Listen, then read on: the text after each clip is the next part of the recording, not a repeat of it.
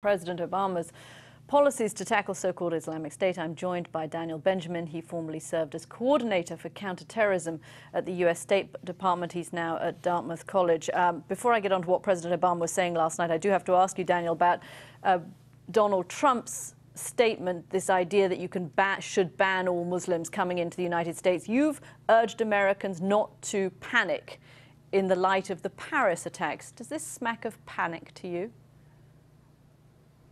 Well, I think Donald Trump, Ben Carson, Chris Christie, and the whole host of uh, Republican candidates are doing their absolute best to whip up a panic.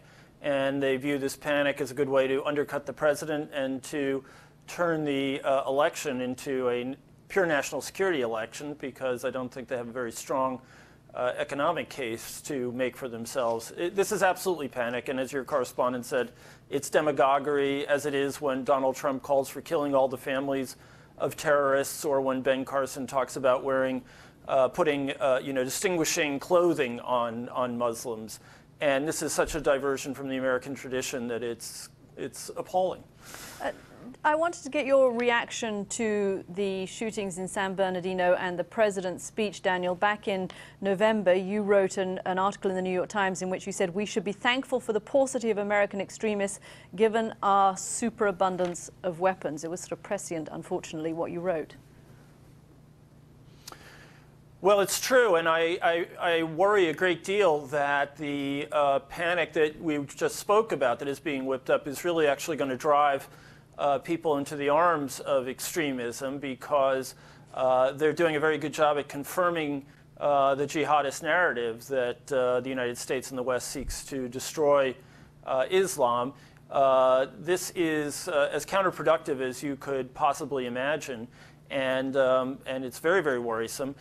You know, I think that people have lost, fact, lost track of the fact that since 9/11, uh, after 9/11, I think only 45 people have been killed in this country now. I don't mean to minimize what happened in San Bernardino. It's it's a true tragedy, but 45 in jihadist violence.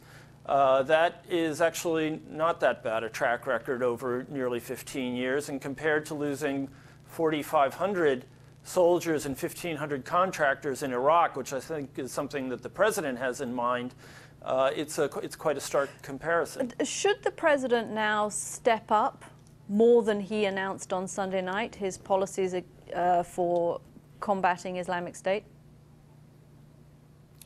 Well, I think even among uh, those who, uh, uh, who support the president's policies, there is a sense that they're not hugely emotionally satisfying and that one would like to see more momentum.